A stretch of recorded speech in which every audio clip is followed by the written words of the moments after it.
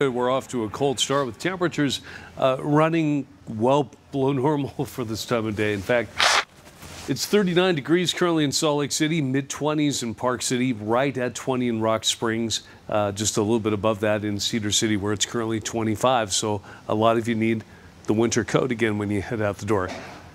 Otherwise, we've got fair skies across much of the state, but uh, a few snow showers coming down over the mountains and uh, even a little bit of rain and snow uh, just south of the Great Salt Lake, moving into Davis and northern Salt Lake counties. a little bit of lake enhancement there. So uh, that is a possibility this morning, even though the main part of our storm that's moving in today will slide in from the northwest uh, later this morning into the afternoon, make its way out of here. But by tomorrow, we'll get a stronger system dropping in from the northwest as well that'll bring a better chance of snow. Today's weak storm still might bring a possibility of two to five inches to the Wasatch Mountains, an inch or two in some of the higher valleys. If we get anything down in the lower valleys, it would mainly be a trace on grassy surfaces. Otherwise, our temperature in Salt Lake will climb to 49 this afternoon.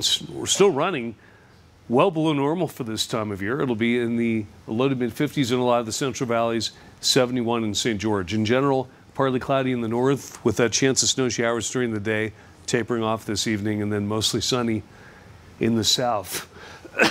Excuse me, a big warm up in St. George as early as tomorrow. You'll make it near 80, however, pretty close to that through the weekend. And in northern Utah, well, valley rain, mountain snow will become even more likely tomorrow with that storm moving through. But by the weekend, we'll be drying out. Partly cloudy and getting a lot warmer with a high in the mid 60s by Sunday.